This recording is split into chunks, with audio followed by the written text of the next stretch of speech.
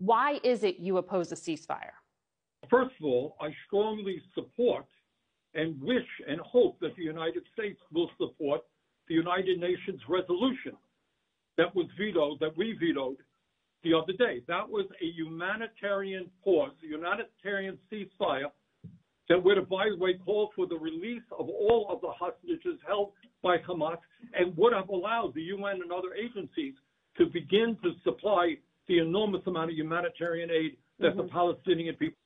In terms of a permanent ceasefire, I don't know how you can have a permanent ceasefire with Hamas, who has said before October 7th and after October 7th that they want to destroy Israel. They want a permanent war. I don't know how you have a permanent ceasefire with an attitude like that.